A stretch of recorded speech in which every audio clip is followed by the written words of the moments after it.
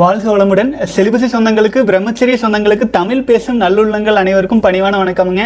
இன்றைய தினம் வெற்றிகரமாக ஐம்பத்தி ஆறாவது நாளுக்கான வீடியோ. ஒரு ஒரு நாளும் நம்ம செலிபஸை ஃபாலோ பண்ணிட்டு இருக்கிற சகோதரர்கள் மன உறுதியோடு முதல் நாளாக இருக்கலாம் நாலாவது நாளாக இருக்கலாம் பன்னெண்டாவது நாளாக இருக்கலாம் ஆயிரமாவது நாளாக இருக்கலாங்க. ஆனால் ஒரு ஒரு நாளையும் நம்ம பிரம்மச்சரியத்தில் ஸ்ட்ராங்காக கடந்து போகும்போது அடுத்த நாள் வந்து பார்த்திங்கன்னா இந்த நம்ம கடந்து வருவதற்கான ஊக்கம் அப்படிங்கிறது இயல்பாக கிடச்சிரும்.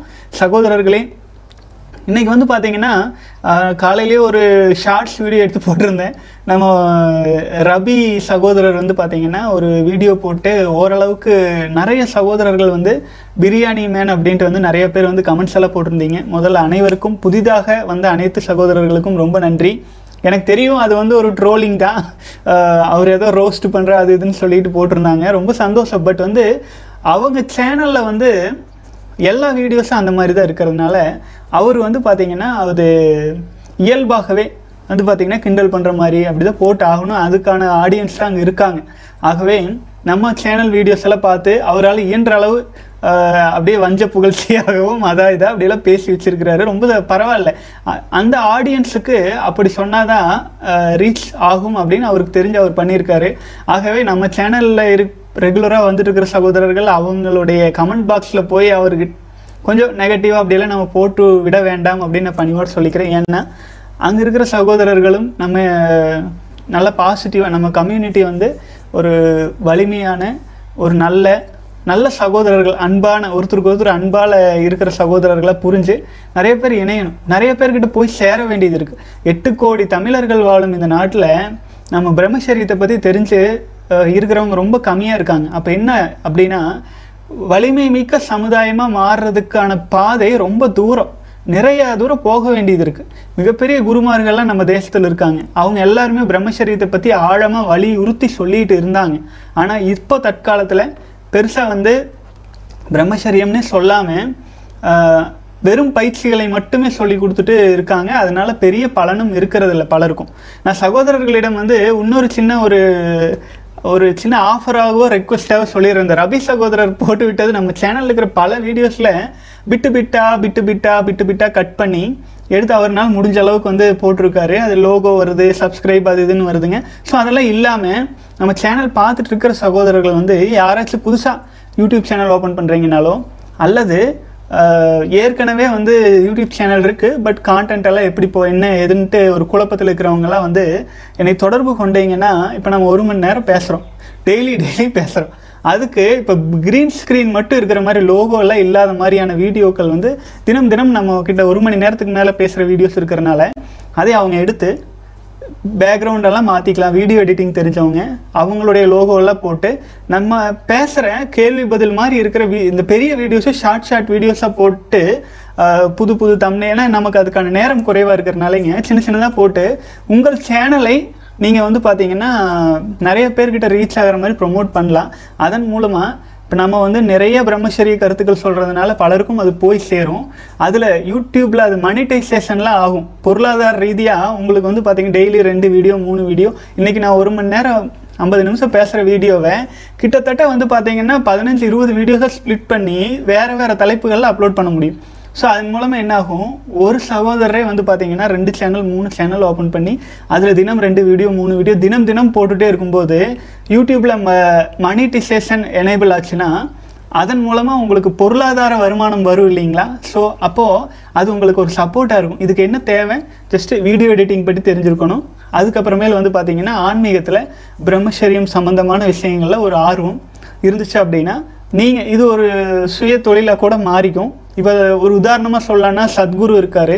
அவர் வந்து நிறைய பேசியிருப்பாங்க. அவங்களுடைய வீடியோவெல்லாம் காப்பிரைட் கிடையாது. அதே மாதிரியே நம்ம வீடியோவும் காப்பிரைட் எல்லாம் எந்த கிளைமும் நம்ம பண்ண போகிறதில்ல ஆகவே நம்ம சேனலில் இருக்கிற எந்த வீடியோ வேணாலும் யார் வேணாலும் எடுத்து பயன்படுத்திக்கலாம். ரபி சகோதரர் வந்து சின்ன சின்ன பிட்டை எடுத்து பயன்படுத்தி அவருக்கு தகுந்தாற் போல் சொன்னார் இல்லைங்களா? அந்த மாதிரி. அது ஒரு விதத்தில் உங்களுடைய பொருளாதாரத்துக்கு உதவும். அதே சமயத்தில் பலருக்கும் நம்ம தமிழ் சமுதாயத்தில் இருக்கும் பலருக்கும் போய் ரீச் ஆகிறதுக்கும் உதவியாக இருக்கும். நான் ஒரே கை வீசினா அதில் ஒரு சத்தம் வராது இல்லைங்களா? பலரும் இணைஞ்சு போகிறதுக்கு ஆரம்பத்தில் இப்போ நான் சொல்கிற ரெக்வஸ்ட் இது அடிக்கடி சொல்லிட்டு இருக்க போகிறது இல்லைங்க. விருப்பம் இருக்கிறவங்க என்னை வந்து செலிபஸி இன்னட் ஜிமெயில் டாட் காம்க்கு தொடர்பு கொள்ளுங்க. ஸோ நீங்களும் உங்களுடைய யூடியூப் சேனலில் வந்து பார்த்தீங்கன்னா உங்களுடைய ஓன் பிராண்டில் எல்லாமே பட் நம்ம பேசுகிற வீடியோஸ் வந்து லோகோஸ் எல்லாம் எதுவும் இல்லாமல் க்ரீன் ஸ்க்ரீன் பேக்ரவுண்டோடு நம்ம கொடுத்துட்றோம் நீங்கள் அதை ஸ்ப்ளிட் பண்ணி பண்ணி பப்ளிஷ் பண்ணிக்கலாம். அதன் மூலமாக உங்களுக்கு விரைவில் மானிட்டைசேஷனும் வந்துடும் அதே சமயத்தில் நீங்கள் பண்ணுற ஒர்க்குக்கான இன்கம் மாதமானால் எவ்வளவு தூரம் ரீச் ஆகுதோ அவ்வளோ தூரம் வரவும் ஆரம்பிக்குங்க அப்போ அது நம்ம கம்யூனிட்டிக்கும் ஒரு சப்போர்ட்டாக இருக்கும். ஆச்சுங்களா? ஒரு ஒரு சகோதரரும் பிரம்மச்சரியத்தை காப்பதன் மூலமாக ஒரு ஒரு நாள் ஒரு சொட்டு விந்து சக்தியை காப்பாற்றும் போதே நான் பல முறை சொன்னதான் எத்தனையோ லட்சம் மனித விதைகள் நம்முடைய வாரிசுகளை காப்பாற்றுற இது புண்ணியமான வேலைங்க. ஸோ அவ்வாறு நம்ம காப்பாற்றிட்டு நம்முடைய பாவப்பதிவுகளும் கழியும். அதே சமயத்தில் இந்த பிரம்மச்சரிய சிந்தனையிலேயே இருப்போம். புரிஞ்சுதுங்களா அப்போது நம்மளுடைய செலிபஸி ஜேர்னியும் ஸ்ட்ராங்காக போகும். டெய்லி ஒரு அரை மணி நேரம் ஒரு மணி நேரம் வேலையாக இருக்கும். அது உங்களுக்குன்னு ஒரு தனி பிராண்ட் கிரியேட் பண்ணி பப்ளிஷ் பண்ணிகிட்டு இருக்கிறதுக்கு நான் ஃபுல் ரைட்ஸை நான் உங்களுக்கு கொடுத்துருவேன். ஆச்சுங்களா? என்னை தொடர்பு கொள்ளுங்க விருப்பம் இருக்கிறவங்க. சரிங்க இன்னைக்கு கேள்வி பதிலும் நிறையா இருக்குது நிறையா கமெண்ட்ஸ் போட்டு வச்சதுனாலே கொஞ்சம் தாமதம் ஆயிடுச்சுங்க வீடியோ ஸ்டார்ட் பண்ணுறக்கு வேக வேகமாக போயிடலாங்க ஹாய் அண்ணா இருநூற்றி பத்து நாள் செலிபஸி ஏஜ் வந்து இருபது. பெனிஃபிட்ஸ் வேறு லெவல் சொல்லி புரிய வைக்க முடியாத அளவுக்கு பெனிஃபிட்ஸ் ஃபீல் பண்ணுறேன் நவ் நான் மெடிடேஷன் நல்லா பண்ணுறேன் பட் அப்பப்போ நெர்வஸ் துடிக்குது. பாடி பார்ட்டில் நெர்வஸ் எல்லாம் துடிக்குது. என் நெகட்டிவ் தாட்ஸ் வருது.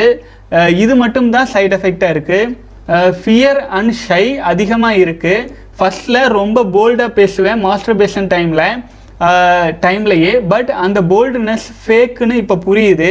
செலிபஸியில் இருந்து கிடைக்கிற போல்ட் அண்ட் ஸ்ட்ராங் தான் உண்மைன்னு நினைக்கிறேன். தென் கவர்மெண்ட் எக்ஸாமுக்கு ரெடி பண்ணிட்டு இருக்கேன். டூ மச் ஆஃப் கான்ஃபிடென்ஸ் எல்லாமே பிரம்மச்சரிய பவர் நன்றி பிரகாசனா வாழ்க வளமுடன். ரொம்ப சந்தோஷம் சகோதரரை. இருநூற்றி பத்து நாள். அதாவதுங்க நீங்கள் பிரம்மச்சரியத்தில் இருக்கிறனால பாசிட்டிவ் தாட்ஸ் வந்தாலும் அதற்கு பலம் அதிகம்.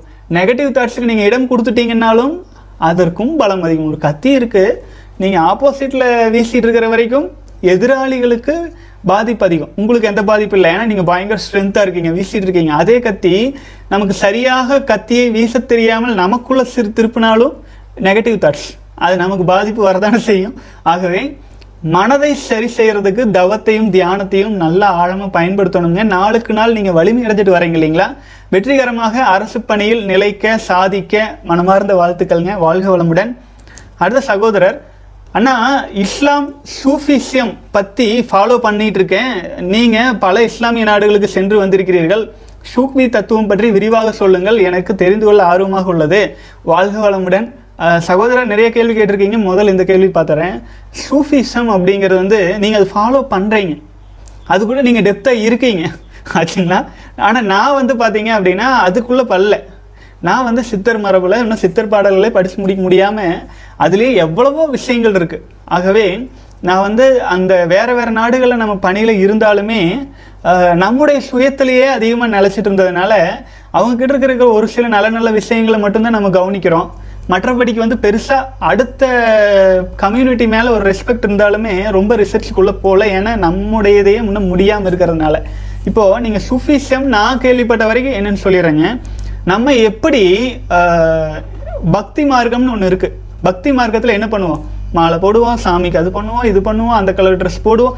ஒவ்வொரு ப்ரொசீஜர் இருக்கும் இந்த ப்ரொசீஜர் இப்படி அந்த ப்ரொசீஜர் அப்படி அப்படி எல்லாம் ஒரு பார்ட் ஆச்சுங்களா? நம்ம பாரத கலாச்சாரத்தில். இன்னொரு பார்ட் பார்த்தீங்கன்னா நட்டகல்லை தெய்வம் என்று நாளும் புட்பம் சாத்தியே சுற்றி வந்து முணுமுணுத்து மந்திரங்கள் சொல்கிறீர். நட்டகளும் நட்டகல்லும் பேசுமோ நாதன் நம் உள்ளிருக்கையிலேன்ட்டெல்லாம் சித்தர் மரபில் இதையெல்லாம் கொஞ்சம் தனிச்சுக்குங்க இந்த அளவுக்கு விஷயம் தேவையில்லை.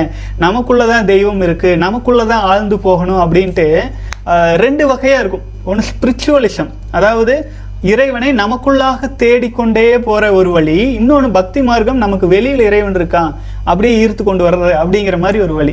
எனக்கு தெரிந்த இஸ்லாமிய சகோதரர்களுடைய இதில் பார்த்தீங்கன்னா நார்மலாக அவங்க ஃபாலோ பண்ணுறது அவுட் ஃபோக்கஸாக அஞ்சு முறை தொழுகிறது அப்புறம் வந்து இந்த பக்தி மார்க்கத்தில் பக்தி மார்க்கம்னு சொல்ல முடியாது. ஓரிறைவன் சொல்லி தான் பண்ணுவாங்க. பட் இருந்தாலும் தியரிட்டிக்கல் ஒரு மாதிரியாக இருக்கும். அதுலேயே ஸ்பிரிச்சுவலிசம் அப்படிங்கும்போது சூஃபிசத்தை எடுத்துக்கலாம். எப்படி?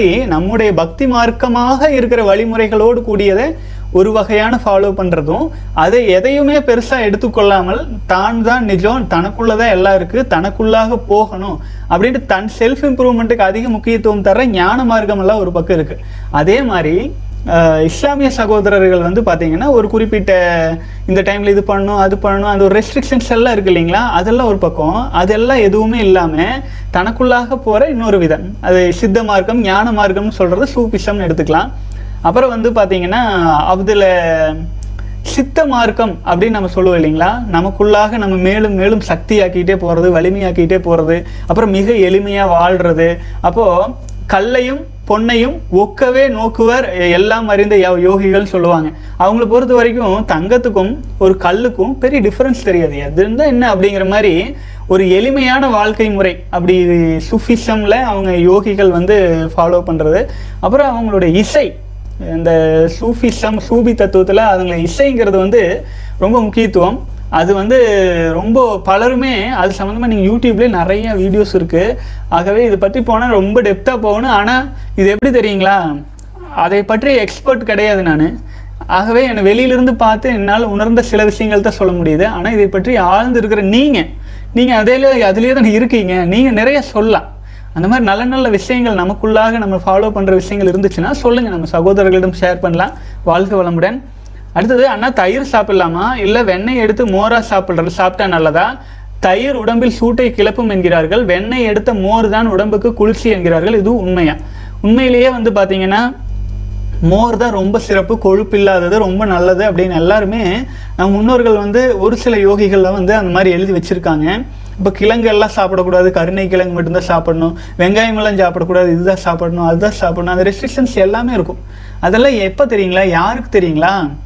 பிரம்மச்சரியத்தில் நிலைக்க முடியாமல் ரொம்ப வீக்கஸ்டாக இருக்கிறவங்க இந்த சில ரெஸ்ட்ரிக்ஷன்ஸ் எல்லாம் ஃபாலோ பண்ணால் மிக விரைவில் ஸ்ட்ராங்காக வந்துடலாம் நீங்கள் பிரம்மச்சரியத்தில் ஸ்ட்ராங்காக இருக்க முடியும் அப்படின்னா அசைவமே சாப்பிட்டீங்கன்னாலும் உங்களால் பிரம்மச்சரியத்தில் ஸ்ட்ராங்காக இருக்க முடியும்னா அதை பற்றி எந்த கவலையும் இல்லை. நீங்கள் உங்களுக்கு அர்ஜஸ்ட்டை கண்ட்ரோல் பண்ண முடியுது உங்களால் ஸ்ட்ராங்காக இருக்க முடியுது உடல் வெப்பம் அதிகரிக்காமல் நார்மலாக இருக்குது அப்படிங்கிற பட்சத்தில் ஒரு ஒரு மனிதனும் ஒரு ஒரு மாதிரி ஒரு ஒரு உடல் அமைப்பும் ஒரு ஒரு மாதிரி ஒரே சைஸ் எல்லாருக்கும் ஃபிட் ஆகாது. அதனால் நீங்கள் வந்து மோராக உணவை சாப்பிட்டு பார்க்கலாம். நார்மலாக இருக்கீங்களான்னு தயிராகவும் சாப்பிட்டு பார்க்கலாம். உணவு உங்கள் உரிமை. ஆச்சுங்களா?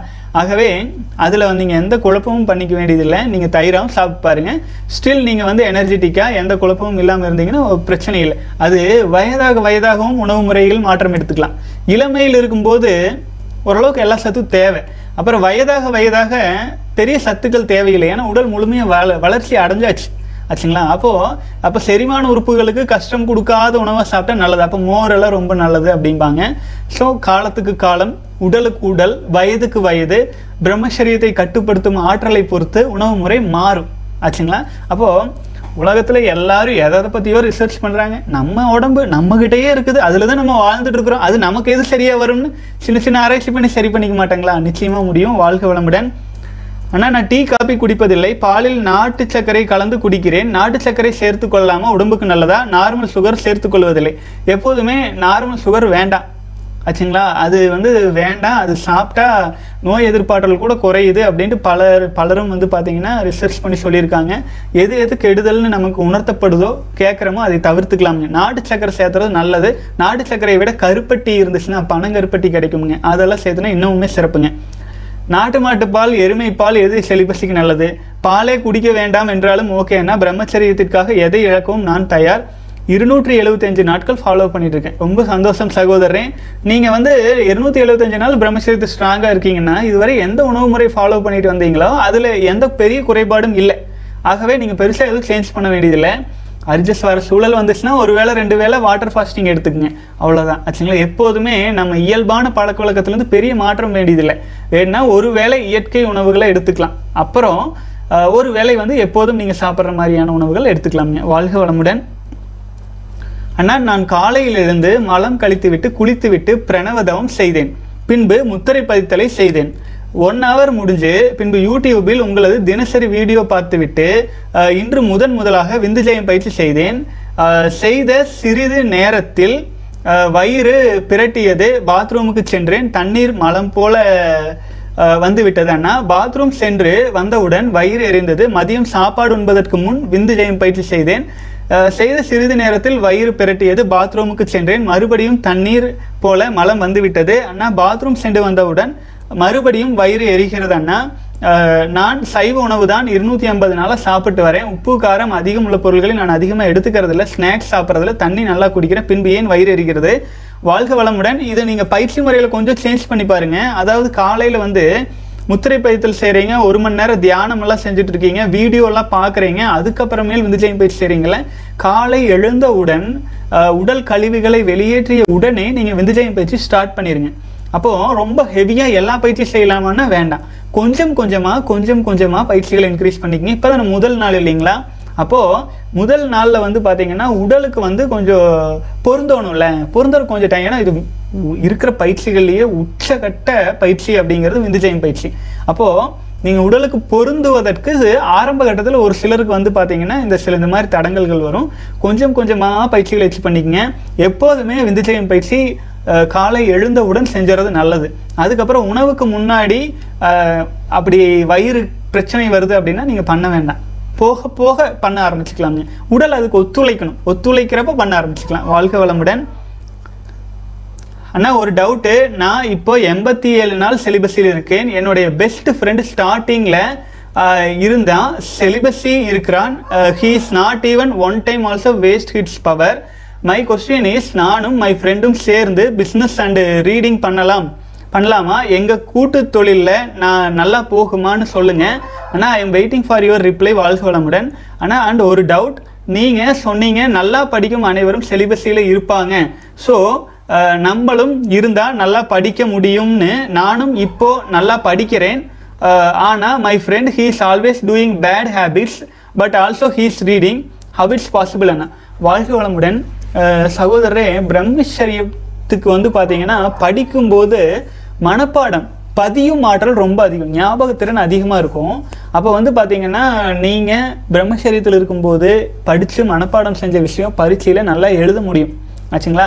அப்புறம் எல்லாருக்கும் ஒரே வகையான ஆற்றல் இருக்கும்னு சொல்ல முடியாது. இப்போ பார்த்தீங்கன்னா ஒரு சின்ன உதாரணத்துக்காக சொல்கிறேன் மகாபாரதத்தில் குந்திக்கு ஐந்து பேர் பிறந்தாங்க.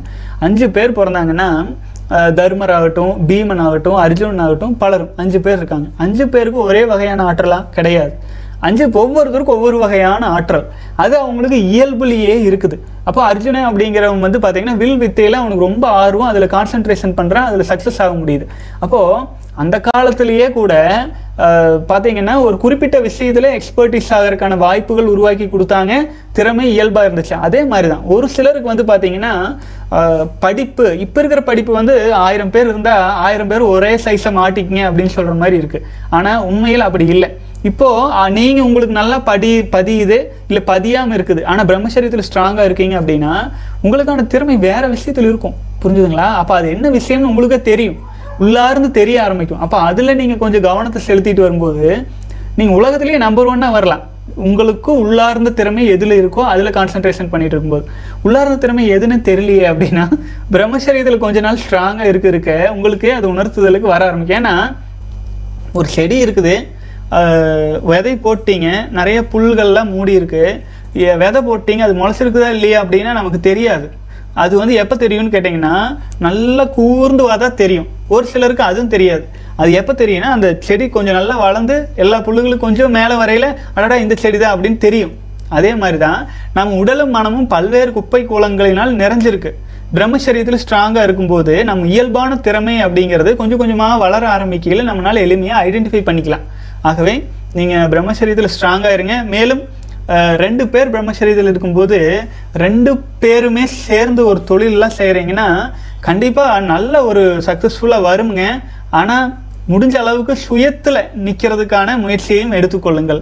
உங்கள் நண்பர் கூட சேர்ந்து பண்ணுறது அதுக்கு ஒரு சில தொழில் ரெண்டு மூணு பேர் சேர்ந்து தான் செஞ்சு ஆகணும். ஒரு சிலர் தனியாக இருந்தாலே செஞ்சிடலாம். ஸோ தொழிலுக்கு தகுந்தாற் போல் உங்கள் நண்பர் பிரம்மச்சரியத்தில் இருக்காரு அப்படின்னா கண்டிப்பாக நீங்களும் இருக்கீங்கன்னா நல்லா வருங்க. பிரச்சனை இல்லை. வாழ்க வளமுடன். அண்ணா என்னுடைய வயது இருபத்தி ஒன்று அடிக்கடி சிறுநீர் வந்துட்டே இருக்கண்ணா வணிக மருத்துவத்தில் பார்க்க விருப்பம் இல்லை அண்ணா. மனதால் உடலை கட்டுக்குள் கொண்டு வந்து கட்டுப்படுத்த முடியும் என நம்புகிறேன். இது சாத்தியமா? இது குறித்து காணொளியில் கட்டாயம் பதிவிடுங்கள். பெயர் குறிப்பிட வேண்டாம். வாழ்க வளமுடன். சிறுநீர் வந்தால் போங்க. இருபத்தி ஒரு வயசு தானே ஆச்சு. சிறுநீர் வந்துச்சுன்னா போயிட்டு வர வேண்டியது தானே அது எது பெருசாக எடுத்துக்கிறீங்க? அதெல்லாம் எதையும் குறைய நினைக்காதீங்க. உடல் தன்னைத்தானே சரி செஞ்சுக்கும். புரிஞ்சுதுங்களா? அதுக்கு தரமான உணவுகளை மட்டும் உணவே மருந்தாக மாறும் அளவுக்கு நல்ல தரமான உணவை மட்டும் எடுத்துக்கிறதுல கான்சென்ட்ரேஷன் பண்ணுங்கள் ஸோ நீங்கள் எந்த குறையும் கிடையாது. நெகட்டிவாக யோசிக்காதீங்க. புரிஞ்சுதுங்களா? வந்துச்சுன்னா போயிட்டு வாங்க. உடல் சொல்லுதில்ல வருது அப்படின்னு. போயிட்டு வாங்க அவ்வளோதான் வாழ்க வளமுடன். வணக்கம் பிரகாஷ் அண்ணா. நோ ஃபேப்பில் பத்தொம்போது டேஸ் கடைப்பிடிச்சிட்டு வரேன். ஆனால் எனக்கு செக்ஷுவல் தாட்ஸில் இருந்து என்னால் வெளியே வர முடியலைன்னா மீண்டும் ஒர்க் பண்ணும்போது ஃபோக்கஸாக இல்லை. ஆனால் அது எதனால்? நான் இதுக்கு ஒரு சொல்யூஷன் சொல்லுங்கள் இது வந்து பத்தொன்பது நாள் இல்லைங்களா? இப்போ உங்கள் உடலில் ஓரளவுக்கு நிறைஞ்சிருக்கும். ஆற்றல் நிறைவு பெற்றிருக்கும். அப்போது இது என்ன காரணம்னா இன்றைக்கு ஒரு நாள் எப்படி ஆயினும் கடந்துட்டீங்கன்னா அப்புறம் ஓரிரு நாளில் ஃப்ளாட் லைன் வரும். ஃப்ளாட் லைன்னா இப்போது நார்மலாக என்ன பண்ணுவோம்? ஒரு ஜக்கில் தண்ணி நம்பிடுச்சுன்னா அதை எடுத்து ஏதோ ஒன்று ஊற்றுவோம் எதுக்கு? ஏன்னா அது எதுக்காக தண்ணி பிடிச்சோமோ அதுக்காக ஊற்றுவோம் ஆச்சுங்களா? அதே போல் நம் பிரம்மசரீரத்தில் ஸ்ட்ராங்காக இருக்கும்போது உடலானது உடலில் இருக்கும் குறைபாடுகள் இருக்கிற இடத்துல அந்த ஆற்றலை ஃபோக்கஸ் பண்ணும். எப்போ ஃபோக்கஸ் பண்ணும்? ஆற்றல் நிறைந்த பிறகு. இப்போ உங்களுக்கு ஆற்றல் ஃபுல்லாயிருச்சு நீங்கள் பழக்க தோஷம். என்ன பழக்க தோஷம்? எப்போதும் இனப்பெருக்க உறுப்புகள் வழியாக சுய என்பதன் வழியாக வீணாக்கிய பழக்க தோஷத்தினால அங்கே ஒரு அழுத்தம் இருக்குது அந்த எண்ணங்கள் வந்துட்டே இருக்குது உடல் உடலும் எண்ணங்களை தூண்டும். எண்ணங்களும் உணர்வுகளை தூண்டும். எல்லாமே சேர்ந்து பழக்க தோஷத்துக்கு நம்ம தள்ளிவிடும். ஆகவே இன்றைக்கி ஒரே ஒரு நாள் உறுதியாக இருந்துட்டிங்கன்னா ஓரிரு நாளில் ஃப்ளாட் லைன் ஸ்டார்ட் ஆகிடும் அது ஆரம்பிச்சிருச்சுன்னா என்ன ஆகும்னா உங்களுக்கு இந்த பெரிய அட்ஜஸ்ட் எல்லாம் வராது. அப்போ உங்கள் டம்ளர் காலியாக இருக்கும். அப்போது நிச்சயமாக உங்களால் ரிக்கவர் ஆகி மறுபடியும் வந்துட முடியும். ஆகவே இந்த பத்தொன்பதாவது நாள் இருபதாவது நாளில் கிரிட்டிக்கல் ஸ்டேஜுங்க ஃபர்ஸ்ட் டைமாக நீங்கள் வந்திருப்பீங்க. ஆகவே மன உறுதியோடு கடந்து வரணும் சகோதரரை. வாழ்க வளமுடன். அண்ணா நான் இருபத்தஞ்சு டேஸாக சிலிபஸை ஃபாலோ பண்ணி டூ டேஸ் வந்து சுய இன்பம் பண்ணிட்டேன். பட் ஐ நான் சுய இன்பம் பண்ணல. சில பிக்சர்ஸ் எல்லாம் பார்த்தேன். உடனே வந்துருச்சு. லாஸ்ட் டூ டு த்ரீ டேஸாக கண்டினியூஸாக பழைய எண்ணங்கள் கெட்ட கெட்ட க கனவுகள் வந்துட்டுருக்கு வந்துட்டே இருக்கு. நான் இக்னோர் பண்ணி பண்ணி வந்தேன். டுடே நான் சும்மா ஈவினிங்கில் ஒர்க் பண்ணிட்டு இருக்கும்போது தாட்ஸ் வந்து நான் கண்ட்ரோலாக தான் இருந்தேன். பட் முடியல. நான் மாஸ்டர்பேட் பண்ணலை. பட் ஒன் ட்ராப் லீக் ஆயிடுச்சு I feel very guilty Anna. Sorry to God sorry to to you அண்ணா. அண்ணா லாஸ்ட்டு ஃபோர் டு ஃபைவ் டேஸாக ரொம்ப ரொம்ப டயர்டாக இருந்தேன். கா கான்சென்ட்ரேஷன் பண்ண முடியாமல் இருந்துச்சு. ஃப்ளாட் லைன்னு நினைக்கிறேன் என்னென்னா first time facing flat line ரொம்ப கஷ்டப்பட்டுட்டேன்னா சரியாக ஒர்க் பண்ண முடியலை. எதையுமே லேர்ன் பண்ண முடியல. பாடி ரொம்ப டயர்டாக இருந்துச்சு. நார்மலாகவே இருக்க முடியலை. How to concentration and escape from flat லைன்னா please tips சொல்லுங்கள் ஃப்ளாட் லைன் தான் என்னை கன்ஃபியூஸ் கன்ஃபியூஷன் பண்ணிருச்சுன்னு நினைக்கிறேன் என்னென்னா நான் டெய்லியும் தியானம் யோகா பண்ணுறேன் நான் சுய இன்பம் ஆட்டோமேட்டிக்காக ஆகும்போது ஒன் ட்ராப் தான் வந்துச்சு.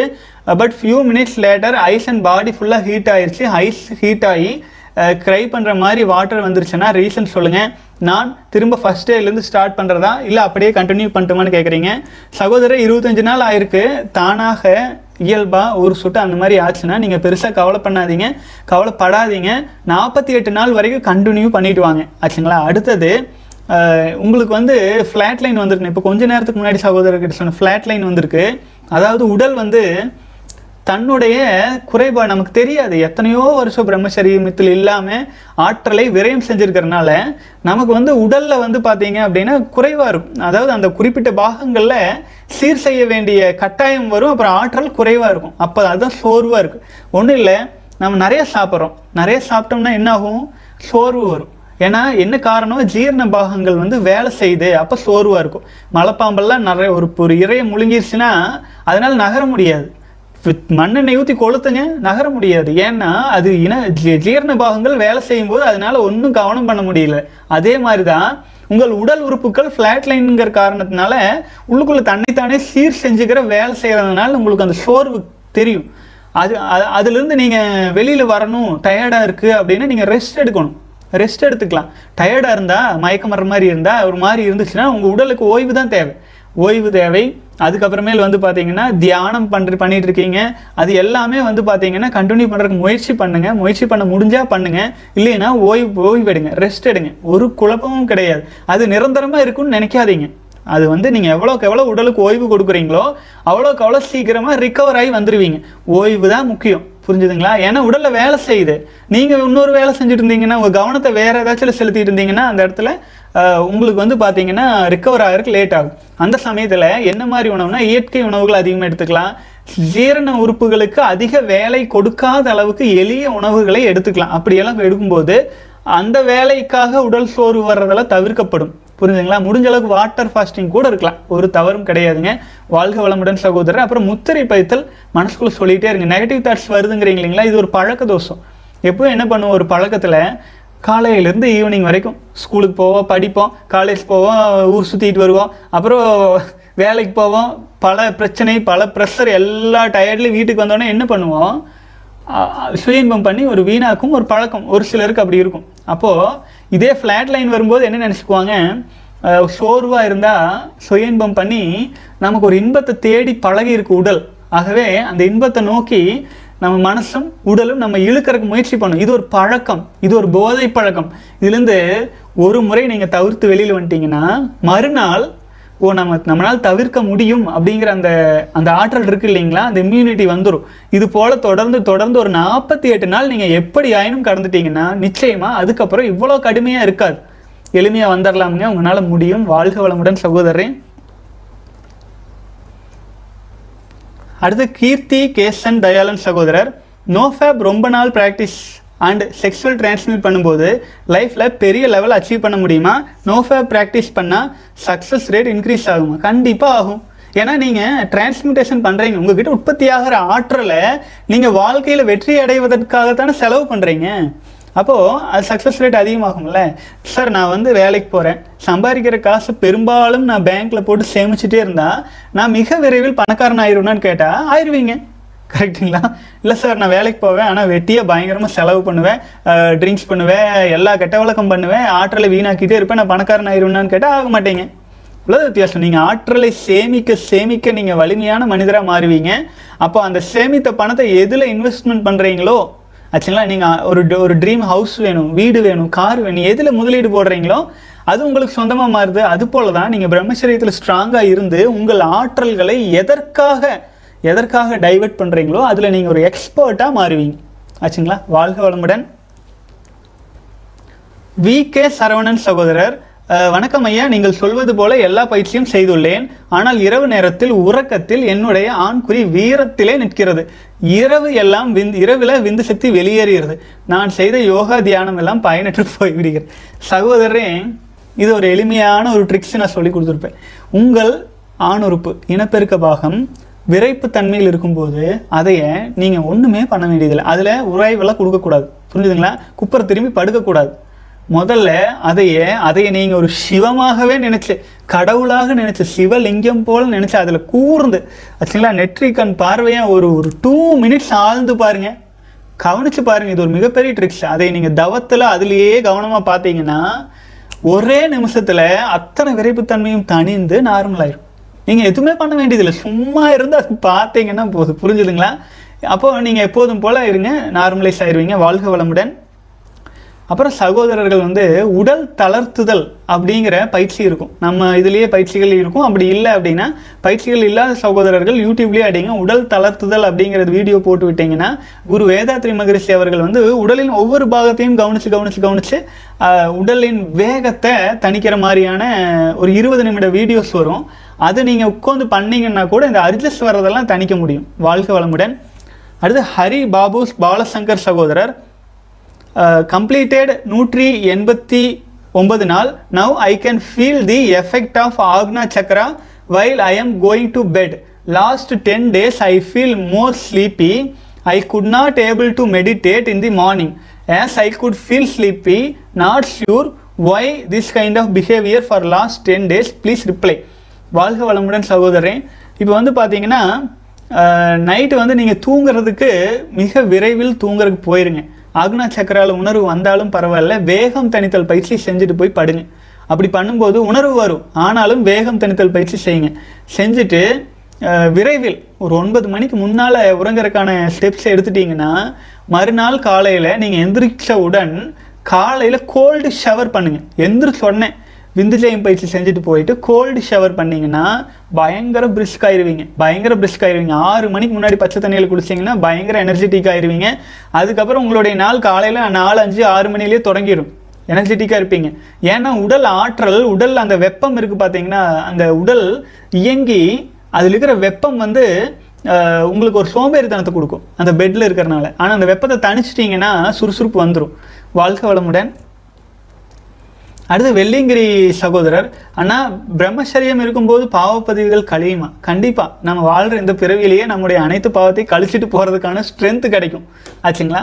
அப்புறம் நம்ம மேற்கொண்டு புதிய பாவங்கள் செய்ய மாட்டோம். ஏன்னா நம்ம கிட்ட இருக்கிற உயிர் அணுக்களையே நம்ம வந்து அழிக்கிறது இல்லை அப்போது நம்முடைய உயிரணுக்களை கவனம் இல்லாமல் வீணாக்கிட்டு இருக்கிறோன்னா அது பிரம்மஹத்தி தோஷத்தை போல. ஆச்சுங்களா? நம்முடைய வாரிசுகளை நாமளே அழிக்கிறதுக்கு சமம்.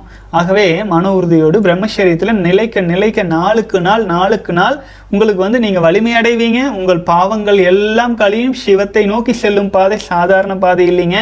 அப்போது அந்த பாதையில் கடுமை தான் ஆனாலும் இந்த பிறவிலேயே முழுமை அடைஞ்சிரும் வாழும்போதே சுவர் அகம் ஆச்சுங்களா? அகத்தை அகம்ங்கிறது உயிரணுக்களாக நம்ம எடுத்துக்கொள்ள ஏன்னா அதுதான் உயிர் இல்லைங்களா? அகத்துக்கான சுவரை எழுப்பி கொண்டால் அது சுவர்க்கமான வாழ்க்கையாயிரும். அது அந்த சுவரை நீங்கள் இடித்து தள்ளிட்டீங்கன்னா நர அகமாக மாறிடும் ஆச்சுங்களா? வாழ்க வளமுடன். கணேஷ் சகோதரர் ஐ எம் கணேஷ் வயசு இருபத்தி ரெண்டு லாஸ்ட் ஆகஸ்ட்லேருந்து நோ நோஃபேப் ஃபாலோ பண்ணிட்டு வரேன். இரு இருநூற்றி நாற்பத்தி அஞ்சு நாள் ஆகிறது. இப்போ கொஞ்ச நேரம் முன்னாடி எனக்கு வெட் ட்ரீம்ஸ் ஆகிருச்சு. இதுவரை இப்படி ஆனதே இல்லை. ஃபர்ஸ்ட் டைம் இப்படி ஆனதும் லைட்டாக பயந்துட்டேன். அதான் நான் அப்படியே எழுந்து கமெண்ட் போடுறேன். எனி தாட்ஸ் சொல்லுங்கள் அப்படிங்கிறீங்க வாழ்க வளமுடன். சகோதரன் கிட்டத்தட்ட ஒரு வருடம் வந்திருக்கீங்க பிரம்மச்சரியத்தில் சாதாரண விஷயமே கிடையாது. ஆற்றல் அதிகரிச்சுட்டே இருக்கு இல்லைங்களா? அப்போது அது ஆற்றல் அதிகரிக்கிறதோடு இல்லாமல் என்ன சொல்லாங்க? நம்ம வந்து பியூரிஃபை ஆகிட்டே வரோம். தூய்மை அடைஞ்சிட்டே வரோம். தூய்மை அடைஞ்சிட்டே வரும்போது என்னாகும் ஒரு வாளியில் அழுக்கு தண்ணி இருக்குது தூய்மையான நல்ல நீர் ஊற்றும்போது என்னாகுங்க நல்ல நீர் உள்ளே போக போக அழுக்கு தண்ணீர் மேலே வருது இல்லைங்களா? அது போல் பழைய கர்மாவினால் பழைய சக சங்கஸ்காரங்களினால் ஏற்பட்ட பதிவுகள்லாம் கொஞ்சம் வெளியில் வரும் இல்லைங்களா? அது போல் வெட்ரீம்ஸாக இருக்கும். நீங்கள் கவலைப்படாதீங்க. விந்துஜயம் பயிற்சியை அதிகப்படுத்துங்க. அதே போல் தியானம் செய்வதையும் கொஞ்சம் அதிகப்படுத்துங்க. முடிஞ்சால் ஒரு வாட்டர் ஃபாஸ்டிங் எடுத்துக்கங்க ஒரு நாளைக்கு. ஸோ உங்களை இன்னும் கொஞ்சம் அப்படியே ஸ்ட்ராங் பண்ணி ஸ்ட்ரென்தன் பண்ணிட்டீங்கன்னா மீண்டும் அடுத்தடுத்த நாள் பயணத்தில் வெற்றிகரமாக போக முடியும். முத்திரை பயத்தில் உறுதியாக சொல்லுங்கள் பயம் அது போன்ற எண்ணங்களே வேண்டாமுங்க. வாழ்க வளமுடன். அடுத்தது வந்து நெட் காலி சகோதரர். நான் மூணு மாதமாக ராஜயோகா மெடிடேஷன் பண்ணிகிட்டு இருக்கேன். நான் உங்களை உங்கள் தவம் தியானம் செய்யலாமா? பயிற்சி எடுத்து பண்ணலாமா? ஏன் கேட்குறேன்னா சில பேர் ராஜயோகால இருக்கிறவங்க குண்டலினி விந்து ஜெயம் பண்ணால் சரியாக வராது. இன்னும் காம எண்ணத்தை தூண்டி வேறு விதமான சைட் எஃபெக்ட்ஸ் வரும்னு சொல்கிறாங்க அதான் கேட்டேன். ஒரு ஸ்மால் டவுட் தான் அதான் கேட்டேன். தப்பை எடுத்துக்காதீங்க. வாழ்க வளமுடன். தப்பெல்லாம் நான் எதையுமே எடுத்துக்க மாட்டேங்க சகோதரர். வாழ்க வளமுடன். தப்பாக தெரிஞ்சிச்சுன்னா நம்ம எந்த ஒரு பிரச்சனைகள் வந்தாலும் நம்ம விலகிக்குவோம் மொழியே அங்கே எதிர்த்து போராடுறதுக்கான நமக்கு நேரமும் இல்லை தேவையும் இல்லைங்க. ஒரு விஷயம் என்ன ராஜயோகா பண்ணுறீங்கன்னா எந்த பயிற்சி பண்ணாலும் எனக்கு அதை பற்றி பெரிய ஐடியா இல்லைங்க. ஞான யோகத்தை தான் ராஜயோகம் அப்படின்ட்டு பெரும்பாலும் சொல்லுவாங்க. விந்து ஜெயம் பயிற்சி அப்படிங்கிறது சித்தர்கள் சொன்ன உச்சகட்ட யோகம். அது நம்முடைய காம உணர்வுகளை வந்து டிரான்ஸ் விந்து சக்தியை உயிர் அணுக்களை உடலில் உற்பத்தி ஆகிட்டு இருக்கும் அபரிமிதமான உயிர் அணுக்களை டிரான்ஸ்மியூட்டேஷன் பண்ணுறது அது வந்து நீங்கள் தவத்தோடு கம்பைன் பண்ண வேண்டாம். அது ஒரு உச்சகட்ட யோக பயிற்சி. ஆச்சுங்களா? அதை வந்து மற்ற தவ முறைகளோடு நீங்கள் கம்பைன் பண்ணிக்க வேண்டியதில்லை. குண்டலினி தவம் பயிற்சிக்கு நாம் பெருசாக குண்டலினி தவம் வந்து உட்காந்து அதை செஞ்சு நம்ம பயிற்சி கொடுக்கறதில்ல. ஆச்சுங்களா? அந்த ராஜயோகத்தில் என்ன சொல்கிறாங்களோ அதை அதை விட மிக எளிமையாக தான் நம்ம பயிற்சி முறைகள் இருக்கிறனால நம்முடைய பயிற்சி நீங்கள் செஞ்சீங்கன்னா பிரம்மசரீரத்தில் நிலைக்கிறதுக்கு உறுதி அதிகரிச்சுட்டு தான் போகும். எக்காரணம் கொண்டும் உங்களுக்கு எந்த குழப்பமும் வர்றதுக்கு வாய்ப்பு இல்லைங்க வாழ்க வளமுடன். தமிழ் செல்வன் சகோதரர் ப்ரோ நோ ஃபேப்ல இருந்தா சுர சுரக்காம போயிட்டா அஞ்சு வருஷத்துல நோ நோ ஃபேப்ல இருக்கும்போது உடலுறவு கொள்ளும்போது விந்து வருமா அப்படின்னு கேட்டிருக்கிறீங்க. வாழ்க வளமுடன். நீங்க வாயில உமிழ் நீர் வச்சிருக்கீங்க. ஒரு காலத்துல வெத்தலை போட்டு புளிச்சு புளிச்சு புளிச்சுன்னு துப்பிக்கிட்டே இருப்பாங்க. அப்போ நம்மளாம் வெத்தலை போடுறது இல்லை எச்சில் துப்பி பல வருடங்கள் ஆகுது. ஆனா துப்ப முடியாதா? முடியும். இன்னும் பத்து வருஷம் கழிச்சு உயிர் இருக்கும் வரை நம்மளால வாயில் உமிழ் நீர் சுரக்கணும்னா அது சுரக்கும். புரிஞ்சுதுங்களா? வாய்க்கே அப்படி. ஆனால் உடலில் இனப்பெருக்க உறுப்புகள் அப்படிங்கிறது உடலின் அத்தியாவசியம். அடுத்த தலைமுறையை உருவாக்கும் உச்சகட்ட உலகத்திலேயே அதிகப்படியான அதிக டேலண்டான மெக்கானிசம் இருக்கிற இயற்கையால் வடிவமைக்கப்பட்ட முக்கியத்துவம் கொடுத்து வடிவமைக்கப்பட்ட உறுப்புனா நம்முடைய இனப்பெருக்க பாகங்கள். அது நீங்கள் வீணாக்காமல் இருந்தால் செயலிருந்து செயலிழந்து போயிருங்களா? அதெல்லாம் முட்டாள்தனமான விவாதம்ங்க. அதை பற்றி யோசிக்கவே வேண்டியதில்லை. வே- நம்முடைய விஸ்வாமித்ர மகரிஷி நூறு வருடம் இருநூறு வருடம் தவம் இருந்தார். திடீர்னு வந்து பார்த்தீங்கன்னா சொர்க்கத்திலிருந்து தேவதைகளெல்லாம் விட்டு இந்திரன் ஆட சொன்னோடனே ஒரு அழகிக்கு மயங்கி தன்னுடைய விந்து சக்தி மூலமாக ஆற்றலை வீணாக்கிடுவார். ஒட்டுமொத்த தவ ஆற்றலும் அதில் போயிடும் அதன் மூலமாக குழந்தை வந்து குடும்பஸ்தனாக பத்து பாஞ்சு வருஷம் வாழுவார். அதுக்கப்புறம் வந்தால் குச்சி ஊனிட்டு தான் வருவாருங்க. அப்படி ஆற்றல் போயிடுச்சு அப்போ திரும்பவும் வந்து தவத்தலுக்கு வந்து பிரம்மச்சரியத்தில் நிலச்சி தான் ஆற்றலை பெருக்கிக்குவார். ஆச்சுங்களா? அதே மாதிரி தான் நீங்களுமே வந்து பார்த்தீங்கன்னா அஞ்சு வருஷமானா இதாயிருமா அதாயிருமான்லாம் நினைக்க வேண்டியதில்லை. ஏன்னா நம்ம கல்வி முறையிலேயே பன்னெண்டு வருஷம் பதிமூணு வருஷம் பிரம்மச்சரியத்தில் நிலைக்க வச்சு தான் குடும்ப வாழ்க்கைக்கு அனுப்பி வச்சாங்க இளைஞர்களை. ஆச்சுங்களா? வாழ்க வளமுடன். அடுத்தது ஜெயமோகன் சகோதரர். ஹாய் ப்ரோ குடும்ப கட்டுப்பாடு அப்படின்னா பேபி பிறக்காமல் இருக்கிற ஆப்ரேஷன் ஏதாச்சும் பண்ணுவாங்களா? இதை பற்றி யார்கிட்ட கேட்கணும்னு தெரியல. அதான் உங்ககிட்ட கேட்குறேன். இதை பற்றி எப்படி பண்ணுவாங்கன்னு கொஞ்சம் கிளியராக டூ நைட் வீடியோவில் சொல்லுங்கள் சகோதரரை நம்ம வந்து வணிக மருத்துவத்தில் அவங்க பண்ணுற விஷயத்துக்குள்ளெல்லாம் போகிறதில்ல ஏன்னா வணிக மருத்துவம் புதுசு புதுசாக அப்டேட் ஆகிட்டே இருக்கும். ஒவ் முதல்ல வந்து பார்த்தீங்கன்னா ஒரு விதத்தில் செஞ்சுட்டு இருந்த விஷயம் ஒரு அஞ்சாறு வருஷத்தில் லேசராக மாறும். வேறு வேறு விதத்தில் மாறும். அதில் உச்சகட்ட இன்பம் அப்படின்னு நீங்கள் ஒன்று அனுபவிச்சிட்டிங்கன்னா உயிரணுக்கள் வெளியில் போயிடும் புரிஞ்சுதுங்களா?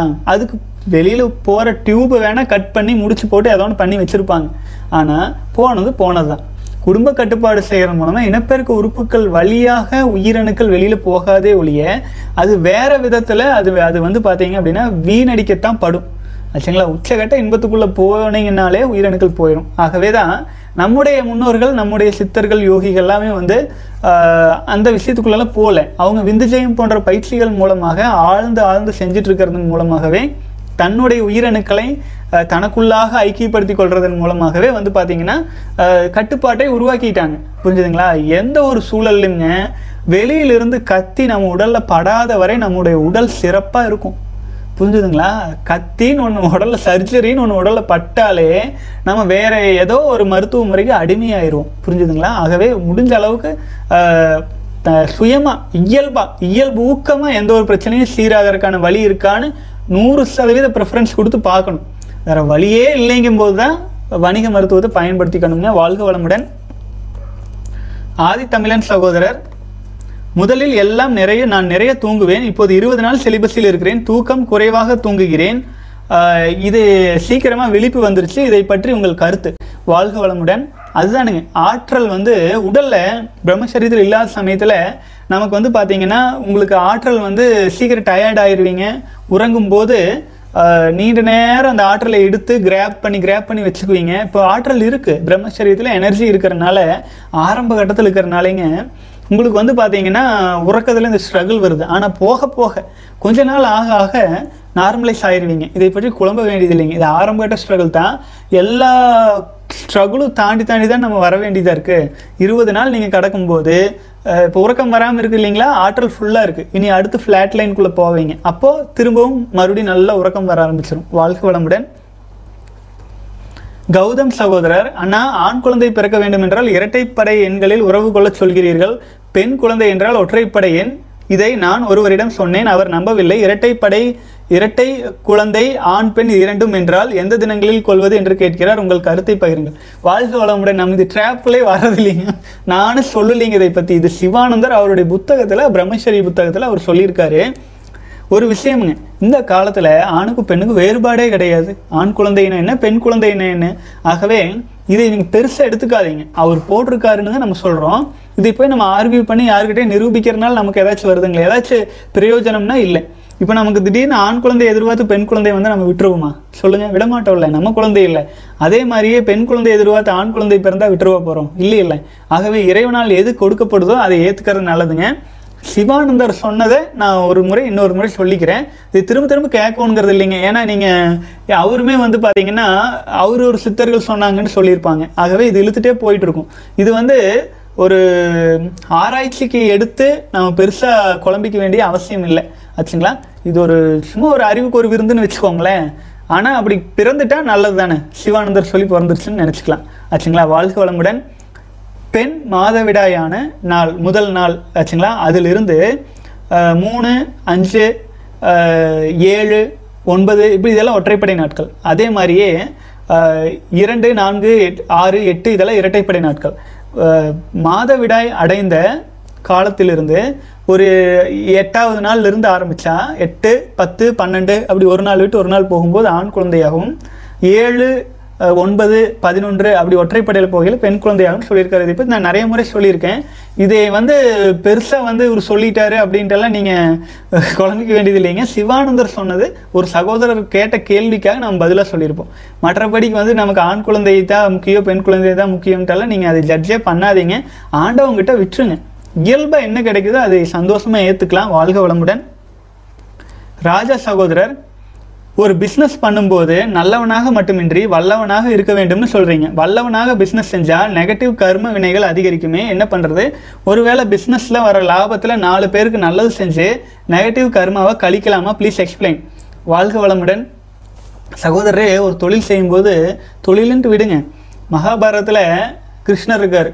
அவர் ரொம்ப நல்லவராக இருந்திருந்தாருன்னா போரில் ஜெயிச்சிருக்க முடியுமா? கலிகாலம் துவங்கிய போதே ரொம்ப நல்லவர்கள்லாம் கோழைகள் தான் நல்லவர்களாக இருக்காங்க. வீரர்கள் வலிமையானவர்கள் தான் சட்டத்தை ஏற்றுறாங்க. அவங்க நல்லவங்க கெட்டவங்கிற பாகுபாடு இல்லை. அப்போது அந்த மாதிரி எல்லாமே வந்து அசுரர்களும் ராவணன்லேருந்து எல்லாம் ஒவ்வொருத்தரும் அவங்க அவங்களுக்கு த வல்லமையாக இருக்கிறவங்க வந்து அவர்களுக்கு தகுந்தாற் போல சட்டங்களை எழுதி கொண்டு வலிமையாக போகிற மாதிரியும் நல்லவர்கள் நியாய தர்மங்களை பேசிக்கொண்டே காலத்தை ஓட்டுற மாதிரியுமான சூழல் அந்த காலத்திலிருந்தே இருக்குது ஆச்சுங்களா? இப்போ நம்ம புதுசாக சொல்லியில்லை அது இந்த காலத்தில் வலிமை இருக்கிறவங்கனால தான் எதுவும் சாதிக்க முடியுது. அந்த வலிமை இருக்கிறவர்களோடு பிரம்மச்சரியத்தில் நிலைத்த வலிமையோடு நன்மையும் நல்ல எண்ணங்களும் இணைஞ்சிருச்சுன்னு வைங்களேன் அப்போது என்ன ஆகும் அப்போ அது நல்ல ஒரு அபரிமிதமான வலிமையாக ஆற்றலாக பெருக்கெடுக்க ஆரம்பிச்சிருங்க ஆகவே வல்லமையாக இருந்தால் நம்ம அடுத்தவங்களுக்கு தவறு செஞ்சே ஆகணுங்கிறது இல்லை வலிமையான மனிதன் வந்து அடுத்தவங்களுக்கு வந்து தீங்கு செய்யணுங்கிற கட்டாயம் இல்லை. வலிமையோடு இருக்கிறவங்க இன்னும் நாலு பேருக்கு சேர்த்து உதவி செய்யலாம்ங்க. வாழ்க வளமுடன். இதை பற்றி பேசினா ரொம்ப நேரம் பேசிகிட்டே இருக்கலாம். நெகட்டிவ் கர்மாங்கிறது இயல்பாக வரத்தான் செய்யும். அப்படி வந்தாலுமே நம்ம சங்கல்பங்கள் மூலமாக முத்திரை பதித்தல் மூலமாக நம்முடைய பாதையில் நம்ம பாசிட்டிவாக போயிட்டு இருக்க வேண்டியதுதான். ஆச்சுங்களா? கர்மா இருக்கத்தான் செய்யும். நம்ம ரோட்டில் நடக்கிறோம். அதில் எத்தனையோ உயிரினங்களை முடிச்சுட்டு தான் போகிறோம் அது இயல்பில் இருக்கத்தான் செய்யும். ஆச்சுங்களா நம்முடைய உயிர் நம்ம சுவாசத்தை உள்வாங்கும் போது எவ்வளவோ கண்ணுக்கு தெரியாத உயிரணுக்களை உள்ளே இழுக்கிறோம் வெளியில் விடும்போது எவ்வளவோ உயிரணுக்கள் போகுது. ஆகவே இயற்கையில் நியாயம் தர்மம் எல்லாமே வந்து நம்ம மனசை பொறுத்து இருக்குதுங்க. ஆகவே அடுத்தவர்களுக்கு பெரிய அளவில் பாதிப்பில்லாத அளவில் நல்ல விஷயங்கள் செஞ்சுட்டு போகிறது சிறப்பு. வாழ்க வளமுடன். ரமேஷ் ராஜா சகோதரர் சொல்லியிருக்கீங்க. நூற்றி அறுபத்தி ஆறு நாள் கடந்திருக்கீங்க. அஹ், படிச்சறேன் இந்த இந்த கருத்தோடு இன்றைய தினத்தை முடிச்சுக்கலாங்க. ஏன்னா ரொம்ப நேரம் ஆயிடுச்சு வீடியோ அப்லோட் செய்கிறதுக்கு லேட் ஆயிரும் அவர் போட்ட மிக அருமையான கட்டுரை படிச்சுட்டு நிறைவு செஞ்சுக்கலாம். சில நண்பர்கள் தியானம் செய்யும் போது மனம் அலைபாய்கிறது. ஒரு நிலை படவில்லை. அரை நிமிடம் கூட மனம் நிலைக்கவில்லை என்கிறார்கள். கடவுளை வணங்க வேண்டும் என்று நினைக்கிறார் பட்டினத்தார். கண் ஒரு பக்கம் மனம் ஒரு பக்கம் நாக்கு ஒரு பக்கம் என்று அவரை பல பக்கங்களில் இழுத்து கொண்டு அலைகிறது. மனம் ஒரு நிலைப்பட மாட்டேன் என்கிறது. எல்லாம் துறந்த பட்டினத்தாருக்கு இந்த நிலை.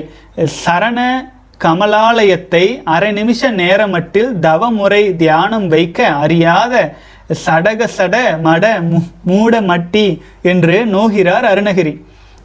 அவன் திருவ திருவடி என்ற தாமரையில் மனதை அரை நிமிடம் கூட முறைப்படி தியானம் செய்ய முடியாத சட கசட மூட மட்டி என்று தன்னைத்தானே நொந்து கொள்கிறார் அவர். பட்டினத்தாருக்கும் அருணகிரி அருணகிரிக்கும் இந்த நிலை என்றால் நம்ம நிலை என்ன? எனவே தொடர்ந்து முயற்சி செய்யுங்கள். பல காலமாக கண்டதை எண்ணி எண்ணி அலைபாய்ந்த மனது நீங்கள் நினைத்த மாத்திரத்தில் அடங்கிவிடுமா? சில காலம் ஆகும். விடாப்பிடியாக மன எண்ணங்களையே கவனித்து கவனித்து நிலைநிறுத்துங்கள். நாட்கள் செல்ல செல்ல கட்டுப்படும். அடக்க நினைத்தால் அலைய ஆரம்பித்துவிடும். அறிய நினைத்தால் அடங்கும் என்பார் மகரிஷி. எனவே நம்பிக்கையோடு வாருங்கள். நிச்சயம் நாள் ஆக ஆக மனம் ஒடுங்க ஆரம்பிக்கும். பாடல். கையொன்று செய்ய விழியொன்று நாட கருத்தொன்று என்ன பொய்யொன்று வஞ்சக நாவொன்று பேச புல் புலால கமழும் மெய்யொன்று சார செவியொன்று கேட்க விரும்பியான் செய்கின்ற பூசை எவ்வாறு கொள்வாய்? வினை தீர்ந்தவனே வாழ்க வளமுடன். பொருள்.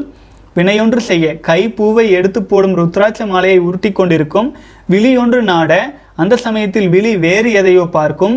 இந்த சேலையில் அவள் அழகா இருக்கா அதா இருக்கு இதா இருக்கு என்று கருத்தொன்று என்ன கருத்து வேறு எதிலோ இன்னைக்கு அந்த ரிப்போர்ட்டை எப்படியாவது முடிக்கணும்.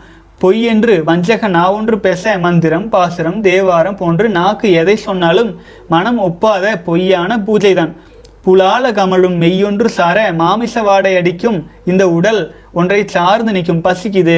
இன்னைக்கு காலையில் என்ன சாப்பிடலாம் என்பது போன்ற செவியொன்று கேட்க காது வேறு ஏதேனும் கேட்டுட்டு இருக்கும் மிக்சி ஓடுது ஒருவேளை தேங்காய் சட்னி அரைக்கிறாங்களோ அப்படின்னு விரும்பியான் நான் விரும்பி செய்கின்ற பூசை எவ்வாறு கொள்வாய் வினை தீர்த்தவனை.